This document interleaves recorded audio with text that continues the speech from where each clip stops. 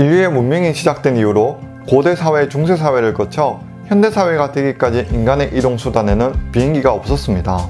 육지로는 말과 마차를 타고 바다로는 배를 이용해 먼 곳까지 이동하는 형태였죠. 1769년 프랑스에서 최초의 전기 자동차가 등장했고 세월이 지나 획기적인 발전을 통해 내연기관이 발전되었지만 그래도 하늘을 날아다니는 일은 꿈만 같은 일이었습니다. 하늘을 날고 싶어하는 인간의 욕구를 실현시킨 최초의 사람으로는 미국의 라이트 형제가 유명합니다. 그들은 동력 비행기의 조건을 충족시키며 플라이어 1호를 개발해내는데 성공했죠. 하지만 라이트 형제보다 10년은 더 앞서 비행기를 만들었다고 주장하는 국가도 있는데 프랑스에서는 클레망 아데르가 증기기관을 이용해 최초의 비행기를 만들었다고 합니다. 미국과 프랑스는 서로가 최초의 비행기라고 주장하고 있는 상황이지만 클레망 아데르의 증기기관에 비해 라이트 형제의 경량 가솔린 엔진이 후대의 비행기 발전에 더 많은 영향을 주었죠. 최초로 비행기를 만들었다는 국가는 미국과 프랑스뿐 아니라 한국에서는 조선이 최초였다는 주장도 있습니다. 조선시대 1592년 임진왜란 때 진주대첩에서 사용되었다는 비차라는 무동력 비행기 기록이 있는데 글이라는 기록 형태만 남아있고 설계도와 실물에 대한 자료가 없어 설득력에는 다소 부족하다는 평가를 받고 있기도 하죠. 아무튼 지금으로서는 현대 비행기에 가장 많은 영향을 준 최초의 비행기는 경량 가솔린 엔진을 이용한 라이트 형제의 발명으로 보고 있으며 이후 비행기 대회를 개최하며 비행기록은 상승하고 있었으나 비약적인 발전을 이루지 못하고 있었습니다. 그러다 1914년에 일어난 제1차 세계대전을 계기로 전쟁을 유리하게 이끌고 가기 위해 비행기 연구에 더욱 열을 올렸고 이로 인해 비행기의 성능이 급속히 발전되기 시작하죠. 전쟁 초반에는 지상에 붙어 다닐 만큼 낮게 날면서 속도도 느렸지만 적군과의 경쟁을 통해 발전된 비행기들은 전투기와 폭격기 형태가 되면서 높은 하늘을 날아다니며 속도도 빠른 비행기들이 등장하기 시작했습니다. 1차 세계대전 이전까지의 비행기들은 크기도 작고 안정성의 불확실성 때문에 비행기의 승객을 태운다는 건 상상조차 할 수 없었는데요. 전쟁을 거치면서 기체의 안정성은 좋아지고 있었지만 아직은 민간에서 일상적으로 쓰이진 않았습니다. 지금으로부터 100년 전인 1920년대에 접어들 무렵에는 극소수의 사람들만 비행기를 탈 수 있었죠. 1920년대에는 비행기의 상용화가 이루어졌는데 아직은 사람을 싣고 다닌다기보다는 우편물 수송이 많았던 시대였습니다. 항속 거리도 머나먼 국가까지는 무리였고 지중해 정도를 건널 수 있었죠. 그래도 그 당시로서는 바다를 날아서 건넌다는 것 자체가 대단한 일이었습니다. 기술의 발전은 상업 형태도 발전시키며 이때 당시에 네덜란드에서는 항공사 KLM도 탄생하는데요. 유럽 여행을 다녀본 분들이라면 자주 봤을 네덜란드 항공사 KLM입니다. 1919년에 창립 당시 빌헬미나 여왕에게 왕립이라는 칭호를 받기도 했죠. 특히 한국에서는 히딩크 감독과 박지성 선수가 KLM을 자주 이용한 것으로 유명합니다. KLM은 1935년부터 승무원을 고용하기 시작하는데요. 지금이야 비행기에서는 항상 친절한 승무원들이 서비스 근무를 하고 있지만 1930년대만 하더라도 승무원 고용은 항공사에 있어 새로운 도약이라 할 수 있었습니다.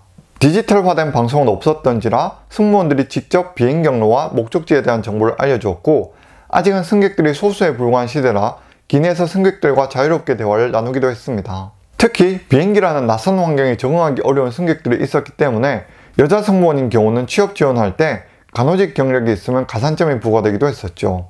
여객기의 초기 승무원들은 지금처럼 전 세계의 대륙에 모두 다니지는 못했습니다. 그 시대는 서양 열강들의 식민지가 많았던 시대여서 여자 승무원들은 네덜란드에서 인도네시아 식민지로 가는 항로에서는 근무하지 못했습니다. 여자 승무원들은 유럽 노선 전담으로 배치되었고 남자 승무원들이 만약의 사고를 대비해 인도네시아에 전담되는 형태였죠. 사람을 수송하는 여객기가 활성화되기 전에 비행기들은 모두 금속재로 이루어진 건 아니었습니다. 1차 세계대전 때 전투원들은 골조 뼈대와 동체는 나무로 되어 있었고 피복 겉에 덮개는 그림 그릴 때 쓰는 캔버스로 이루어졌죠. 목재로 만든 비행기의 장점은 총에 맞았을 때 수리하기가 용이한 점이 있었으나 단점은 비에 노출되면 나무가 썩어버리는 단점이 있었죠. 네덜란드에서는 KLM, 미국에서는 시애틀에서 창립한 보잉사, 러시아에서는 볼쇼이 발티스키라는 여객기의 경쟁이 치열했지만 이들이 활동하던 시기에 항공 여객의 주류는 비행기가 아니었습니다.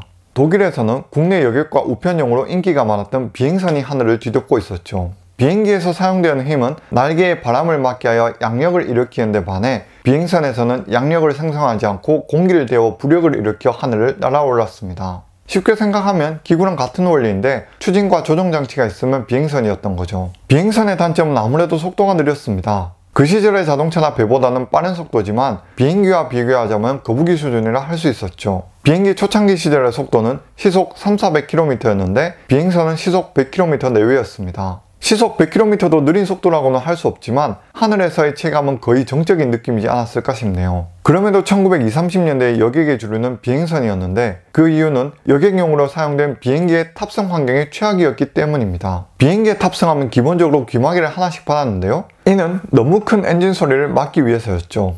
지금은 인증샷으로도 많이 활용되는 기내식은 없었던 시대였으며 오히려 기체가 크게 흔들리는 바람에 멀미를 심하게 하는 손님들이 많아 승무원들은 구토형 봉지를 챙겨서 승객들의 토를 받아냈습니다. 이에 반해 비행선은 안정성 있는 속도와 별로 흔들리지 않는 움직임 덕에 객실과 침대는 물론이고 샤워실까지 갖춰져 있었으니 더욱 인기가 높은 교통수단이었죠.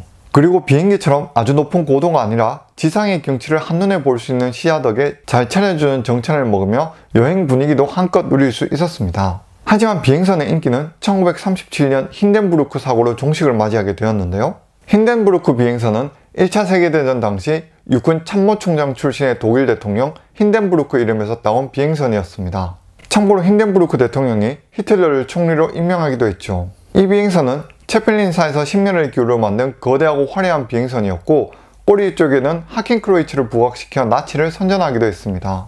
나치 독일의 자존심이라고 할 수 있었던 최고급 수소 비행선은 평소 유럽에서 미국까지 왕복하고 있었는데요. 당시 미국 착륙 예정지였던 곳에 비가 세차게 내리면서 비행선의 거치를 감싸고 있던 가죽이 젖어 힌덴부르크의 무게가 증가했고 동시에 바람까지 심하게 불면서 내부에서 스파크가 발생해 수소기체가 엄청난 굉음을 내며 폭발했습니다.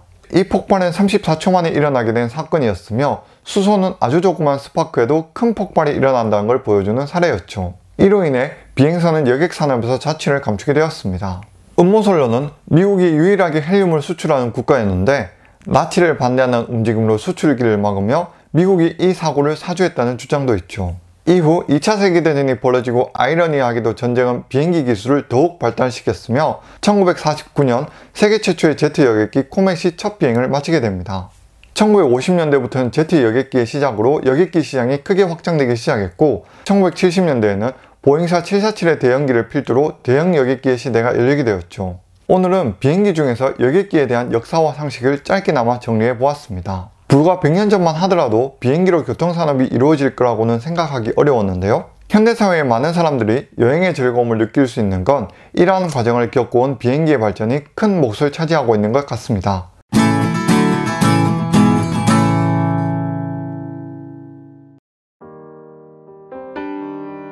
현대 기독교 음악으로 불리는 한국의 CCM 중에서 대중적으로 잘 알려진 노래 당신은 사랑받기 위해 태어난 사람이라는 곡이 있습니다. 1997년에 작곡한 곡으로 처음에는 개신교 교회에서만 쓰이다가 한때 폭발적인 인기로 유행하기도 했죠. 저는 무신론자이지만 이 노래는 워낙 유명하여 멜로디도 따라해보고 가사를 외우기도 했는데요. 아무래도 CCM이기 때문에 종교적 색채가 강하긴 하지만 이 노래가 갖고 있는 힘은 평소 남들에게 관심받지 못하거나 마음의 상처를 받은 사람에게 위로를 해주기도 했습니다. 이 노래가 대히트를 쳤던 건 누구나 가족이나 타인에게 관심을 받고자 하는 마음을 갖고 있는 데서 그 원인을 꼽을 수 있는데요. 그런데 관심받고 싶어하는 마음이 도가 지나쳐 관심 욕구가 병적인 수준에 이르게 되면 험한 말로 관종이라는 표현이 쓰이기도 합니다. 이는 기본적으로 남들도 관심을 받고 싶어하는 타인의 욕구를 무시한 채 자신만의 욕구를 내세우게 되고 심각해지면 점점 자극적인 형태로 발전하기도 하죠. 이렇게 관심을 받고자 하는 욕구와 일반적인 질병의 조합이 이루어지는 형태로 정신병의 일종인 뮌하우젠 증후군이라는 병이 있습니다. 특정 환자가 의사에게 진단을 받을 때 신체적인 이상이 없는데도 관심받고 싶어서 많이 아프다고 하던가 심한 경우에는 자해를 하기도 하죠. 성장기 시절 정서적인 상처를 심하게 받거나 누적된 상처를 받은 경험을 가진 환자에게서 나타나는 증상으로 타인의 관심을 끄는데 집착적인 모습을 보이는데요. 의사 입장에서는 정확한 진단을 해야 하는데 환자가 진짜로 아픈 건지 아픈 척을 하는 건지 알아내야 해서 진땀을 흘리기도 합니다. 놀라운 일은 윈하우젠 증후군 환자는 자기가 아픈 척을 하는 질환에 대한 의료 관련 지식도 많이 갖고 있다는 거죠. 가령 자신의 위가 제대로 기능을 하지 못한다며 장상피 화상이라는 의학 용어를 쓴다던가 해서 다른 환자의 증상을 마치 자신이 겪고 있는 것처럼 환자의 질을 적는 경우도 있죠. 환자 역할에 대한 관심 끌기가 전통적인 의미의 윈하우젠 증후군이었다면 현대 사회에는 인터넷이나 SNS상에서도 윈하우젠 증후군을 발견할 수 있습니다. 예전에는 의사에게 자신이 아프다는 것을 어필해서 관심을 받는 형태였다면 이제는 그 상대가 의사가 아닌 일반인으로 바뀌게 되었죠.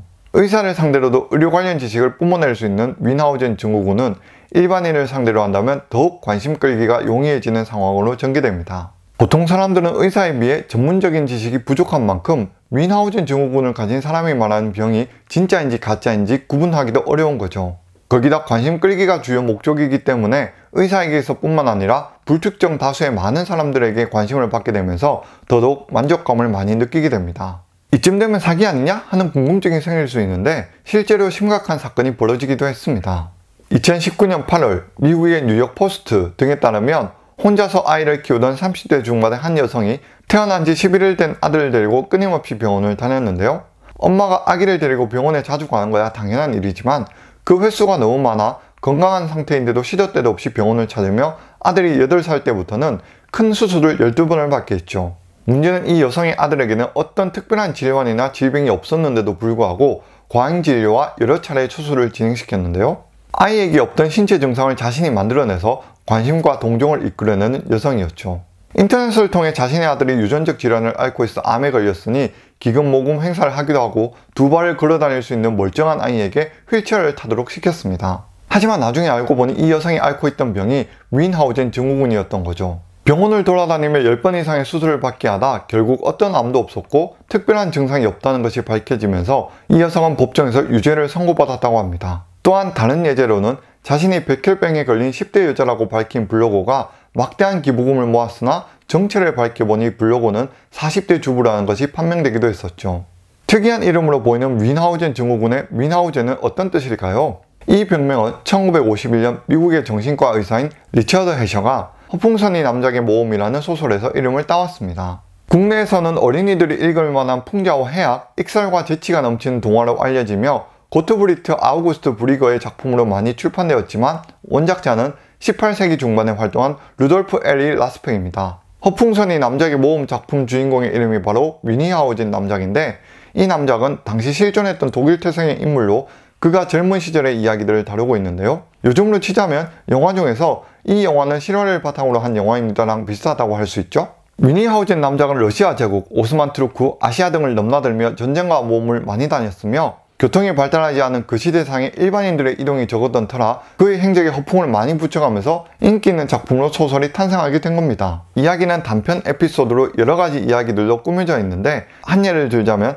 아프리카에 사자 사냥을 갔다가 사자를 향해 총을 쐈지만 총알이 빗나갔던 거죠. 그래서 화가 난 사자에게서 도망을 치다가 마침 커다란 악어가 나타났고 그 무서운 모습에 놀라서 머리를 숙였더니 뛰어오던 사자가 악어 입에 처박혀서 둘 다 잡았다는 식의 이야기죠. 또 다른 예로는 러시아에서 말을 타고 이동하던 중이었는데 뒤에서 늑대가 쫓아와 목숨이 위험했던 적이 있었는데요. 열심히 도망을 쳤지만 늑대의 속도가 더 빨랐고 바로 뒤까지 쫓아와서는 그가 타고 있던 말을 잡아먹기 시작했습니다. 말은 계속 달리고 있었고 뒤를 볼 때마다 엉덩이, 배, 가슴 순으로 부분 부분 말을 먹다가는 결국에는 말의 가죽만 남게 되죠. 그런데 움직임은 계속해서 달리는 상태였기 때문에 말가죽을 덮어 쓴 늑대를 타고서 목적지에 도착하게 되었다고 합니다. 작품이 모두 이런 식으로 허풍이나 과장으로 이루어져 있다 보니 미국의 정신과 의사가 이러한 증세에 대한 병명으로 뮌하우젠 증후군이라는 이름을 붙이게 되었죠. 소설 속에 있는 이름은 뮌히하우젠 남작인데 병명은 뮌하우젠인 이유는 독일어와 영어의 차이라고 합니다.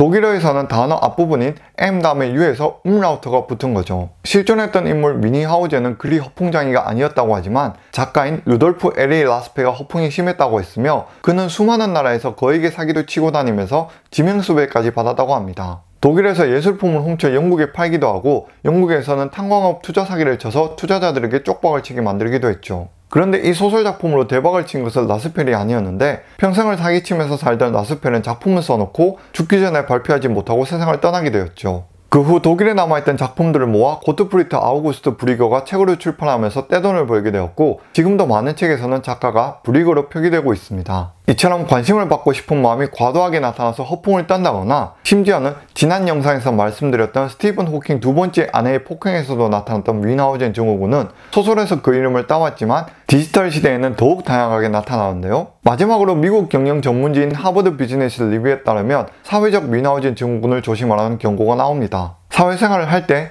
다른 사람들끼리 이간질을 시키는 분위기를 형성해서는 본인이 해결사로 나서면서 능력을 인정받는 사람들을 말하죠.